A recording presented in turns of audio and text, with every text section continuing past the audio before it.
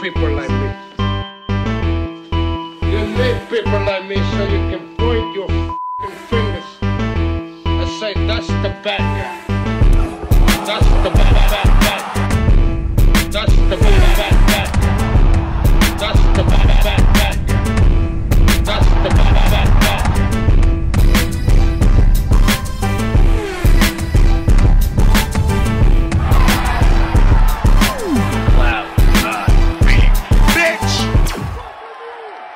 Welcome to the mother. We're covering today's top boxing news. Okay, we'll start with this per tweet from former unified super featherweight champion Michaela Mayer. I'm not fighting Eddie's new 2 0 prospect. Come on now. I told Top Rank to get me, the number one contender, Delphine Persoon, for my next fight. But unfortunately, she turned us down. We went with what we thought was the next best option. Stay tuned. Hashtag big fights only. Delphine Persoon is the number one contender by way of the WBC. A few weeks ago, there were rumors and rumblings that Michaela Mayer could share the ring with Delphine on the premise that she wants to occupy that spot and bump Delphine Persoon off. But now what Michaela's saying is that Delphine rejected the fight, which is a little hard to believe because it would be a decent sized fight with a high profile. It would afford Delphine the opportunity to fight on a major platform, and Delphine herself has not been one historically to shy away from challenges. She fought unbeaten Maiva Hamadouche, unbeaten Erica Farias. unbeaten Christina Lenard two. More recently, she took on unbeaten Elhem Mekhaled. she fought Katie Taylor two times. Historically, she has been one of the more fearsome fighters and fearsome punchers anywhere at or around these weights, so that she can all of a sudden start shaking in her boots when Michaela Mayer. so that when Michaela Mayer comes around, she can all of a sudden becomes squirrely. It's a bit of a tough sell. Argentinian correspondent and boxing scribe, Lucia Malena. Malena. She asked her about it, and Delphine Persoon, in so many words, stated that they never rejected the offer because the offer was never made. Delphine says they never even asked them about a fight. So, how could they have turned one down? Somebody's lying here. It's a classic case of she said, she said. And it all boils down to who do you believe? Do you believe Michaela or do you believe Delphine? In any event, it doesn't look like they're going to be fighting, and Michaela Mayer says that they're going for the next best option, the next best thing. Who could that be? By way of the WBC, ranked right behind Delphine Persoon is Elhem Mekhaled, who dropped a decision to Delphine earlier this year on the undercard of Mayweather versus Don Moore. That exhibition match. Could that be who Michaela Mayer ends up fighting? It's a good fight, and it's a solid fight. Both fighters are on the rebound, having lost decisions in their last fights. Michaela lost to Alicia, and Elhem lost to Delphine. Both fighters are looking for redemption, looking to rebound off those losses, and it is a good fight, but it's not a big fight. Michaela Mayer did say hashtag only big fights. Well, Elhem Mekhaled, solid fight that it might be. It's a solid fight, but it's not a big fight. It's not a big fight. A fight with Bo Mi Re Shin. That wouldn't be a big fight either. Or a fight with Melissa Hernandez, or a fight with Kalia Karuni, or a fight with Brazil's own Danila Ramos. You think you're reading too much into that hashtag? I think I'm taking what Michaela Mayer says at face value. You're not fighting Delphine, so you're going for the next best option, the next best thing. And in your own words, it's a big fight. a rematch with Maiva Hamadouche, perhaps. It's definitely a good fight. It was a fight of the year candidate, and it was close enough that a second fight is warranted. Maiva Hamadouche does rank in at number five in the WBC's ranked standings, though that is assuming that Michaela Mayer is going the WBC route. And based on what she's saying, that was the route they were already on, eyeing a Delphine Persoon fight. This division's WBC silver champion fighting Delphine and beating Delphine would have positioned Michaela to become Alicia Baumgartner's mandatory challenger. But if they're not looking at Delphine anymore, because according to Michaela, Delphine turned down the fight, who's to say they're even on the WBC route anymore? They might not be. They may pursue a different number one contender with a different sanctioning body by way of the WBA. Germany's own unbeaten up and comer, Ramona Graeff, ranks in at number one, and she is the WBA's gold champion. Beating Ramona would once again position Michaela Mayer to take on Alicia Baumgartner as her mandatory challenger, though, as far as satisfying that requisite for a quote unquote big fight. That's not a big fight. Nobody knows Ramona Grace. It's really not an adequate substitute for a Delphine Persoon fight, i.e., it's really not the next best thing. Ramona does not have Delphine's experience and reputation, menacing visage. Punching power. Ramona Graeff is a unbeaten up and comer that shows some ability, though she's a far less experienced fighter than Michaela, even less experienced than Delphine Persoon. Ramona Graeff only has a handful of fights. That's hardly the next best thing. The next best thing to a Delphine Persoon fight. In the IBF's rank standings, it's really not that different. The most recognizable names are the names of Michaela, Delphine, and Maiva, Maiva Hamadouche. Those are the biggest fights that you can hope to make by way of the IBF's rank standings with the most recognizable names. But as stated, according to Michaela, According to Michaela, Delphine turned down the fight, so I don't know. Is she about to have a rematch with Maiva Hamadouche? I'll tell you what, it's going to be interesting to see who she lands on. Though she doesn't appear to be leaving super featherweight, And she's talking big talk, making big promises. we'll see if she can deliver. Hashtag only big fights. Basically, what I said was that in 2016, Danny Garcia said that he rejected an offer to fight Manny Pacquiao. And come to find out, according to Danny, he was lying. He says he made the whole thing up. That I was never offered the Pac Man fight. Ask Bob Arum. I made that up just so, like, people like him who don't know nothing about boxing keep me relevant. And all you did with that is admit that you're a liar and a clout chaser. Calling you out saying we want Danny. How do you feel about that and the fight against Pacquiao? Oh man, that's a good, that's a great fight for boxing, man. Because uh, I'm not backing down from nobody. You made up a story in 2016 to fool me. Really? That's that's that's what you're gonna go with? But um, I think it's a great fight, you know, for me. And uh, but uh, you know, like I said before, just be careful what you wish for, because anything can happen in boxing. You made up a story about an offer nobody made you so that in 2022 you could pop up and say, "Ha, fooled you." If that ain't the dumbest shit I ever heard.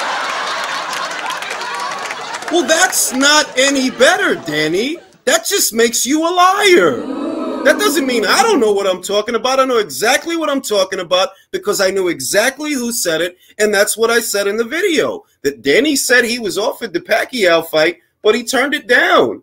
All you really did with that is admit that you're a liar and you clout chased Manny in 2016. That was my video address to former champion and irrelevant boxer Danny Garcia, who, in so many words, admitted to fabricating certain elements of what was supposed to be a Pacquiao fight many years ago. Many years ago, Bob Arum expressed an interest in putting his guy, his then guy, Manny Pacquiao, in there with both Adrian Broner and Danny Garcia. And all of this was circa 2015, 2016. We've often talked about this here on the channel and how Broner, Broner, according to Bob, passed on the money because he didn't like the money. At which point, Bob then shifted his focus to potentially making a Danny Garcia fight. And while Bob's interest was genuine and recorded in Bob's own words, he wanted to make the fight. The part that Danny made up was the part where he rejected an offer from Bob. According to Danny, he didn't reject an offer from Bob. He made all of that up so that,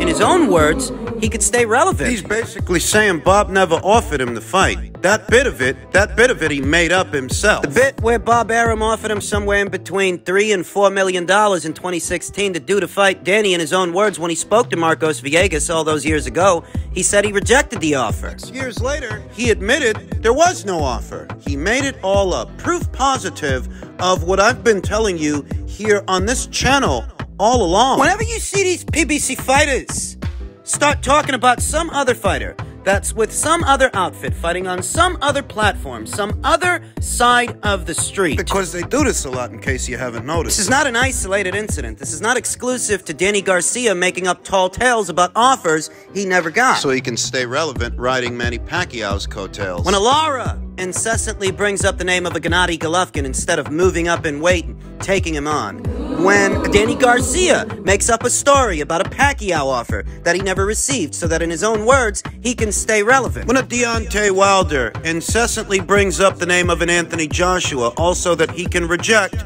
a $100 million offer to take him on in a multi fight engagement. A transatlantic one that satisfied what were some of Wilder's demands one fight in America and one fight in the United Kingdom, two way rematch clause. Also, that he could reject it. One is Stephen Fulton.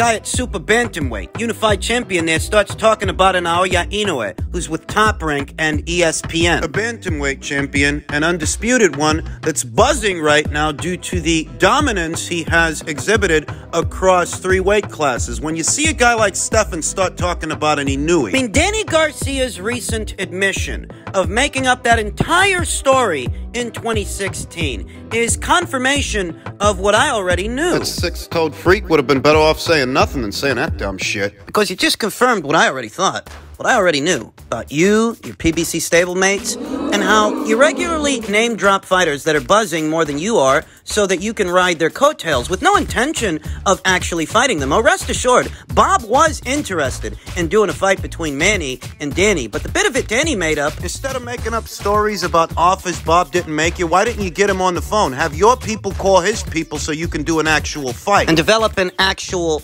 buzz. Instead of these lame brain shortcuts Al Haymon coaxes you guys to take. You often hear it said that many of these guys, what they're doing is following the Mayweather blueprint, but you tell me which one of these guys turned out to be Mayweather by following that blueprint. Certainly not Danny Garcia. He was the welterweight division's whooping boy for the PBC. Lost to every top tier welterweight he ever fought. Keith, Sean, Errol. So he clearly didn't go on to be Mayweather by following the quote unquote Mayweather blueprint. We know he didn't make the kind of money Floyd made. He certainly isn't having the same career that Floyd had. None of those clout chases at the PBC developed into a Mayweather. If Al Haymon If he were really the wizard that he's made out to be, he would have duplicated the success that he had with Floyd by now. He had an entire stable of fighters to groom into a Floyd, but not a single one of them went on to have the same career that Floyd had or become the same kind of draw. These lame brain shortcuts have a lot to do with that, you know. Because that's what they are shortcuts. Instead of making up stories about Bob Arum and Manny Pacquiao, why don't you just fight the fucker? And develop a buzz the old fashioned way. When you see a fighter like Naoya Inoue begin to develop a buzz in the West, and all of a sudden, a Stephen Fulton starts taking an interest in him, starts mentioning him. a guy who can't sell out a high school auditorium. He spends a year talking about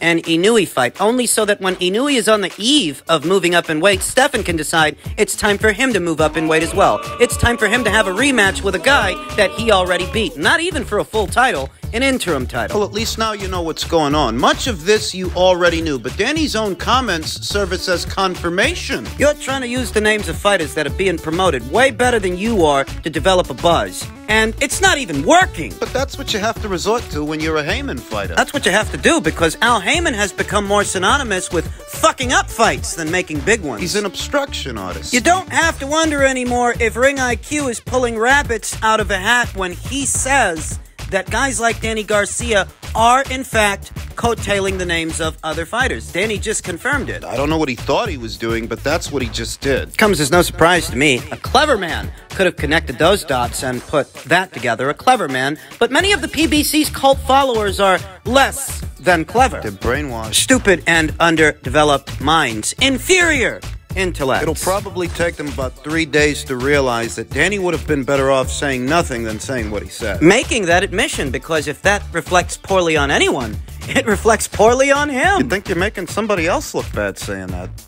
And just in keeping with the PBC and their stable of clout chasers, David Benavidez extends promotional pact with Sampson Lewkowicz boxing, and in doing so, He continues to isolate himself from the rest of the sport, and we can't have any immediate plans to move up to the light heavyweight division if he has re-signed with Sampson. Sampson Lewkowicz, who revealed the interim WBC World Super Middleweight Champion David El Bandera Roja Benavidez has again renewed his exclusive multi-year promotional agreement with Sampson Boxing. We have that many more years of soft matchmaking to come. I'm very happy to be able to continue this journey with El Bandera Roja, said Lewkowicz. David is in line for many big fights that will define his legacy as one of the greats, and I'm very proud to be his promoter and for all he has already done and all he will do in the near future? You mean stalling out fights that are long overdue and expecting two times as much credit for fighting the same guys that Canelo already beat? Stuff like that. The Phoenix based slugger will face former champion Caleb Sweethands Plant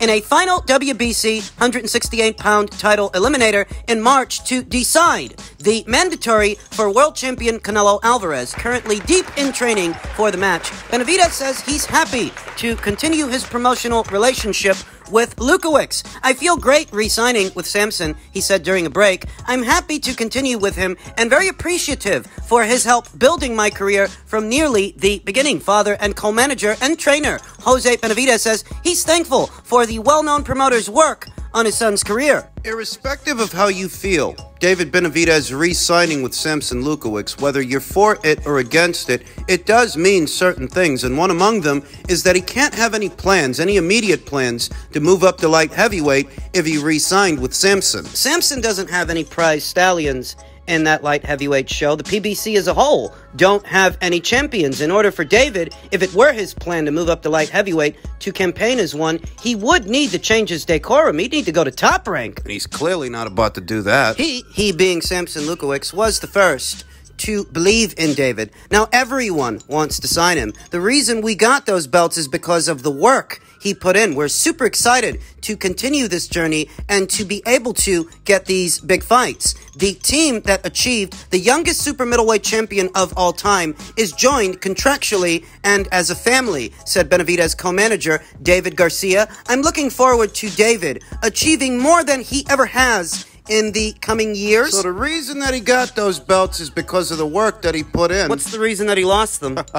ridiculous? Canelo Alvarez more or less laid out his schedule, his itinerary for the coming year. A tune-up kind of fight in the first or second quarter of the year, and then a Dimitri Bivol rematch, a Dimitri Bivol showdown, thereby ruling out a potential showdown between himself and the very irrelevant David Benavidez. So David, David, if he wants to develop a buzz, David, if he wants to try and grow into any kind of a draw, he's going to need to keep a busier schedule next year than he did this year because all he did this year was take on an overmatched, over the hill David Lemieux. He must be happy with that kind of matchmaking and that kind of schedule if he re signed with Sampson. Though, as happy as he might be with that kind of matchmaking and that kind of schedule, that's not how you groom a potential star in the sport. That's not how you groom a potential marquee attraction, a big draw. They'll need to do better for David next year than they did this year because all Sampson did this year was put him in there with David Lemieux. Whatever.